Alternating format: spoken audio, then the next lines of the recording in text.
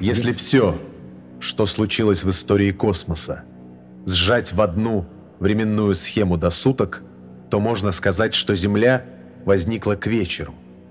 Динозавры появились ближе к полуночи, а человечество существует только последние две секунды. Эжен Изаи. Соната для скрипки соло номер 3. Баллада. Ре минор, опус 27. Артур Крещан.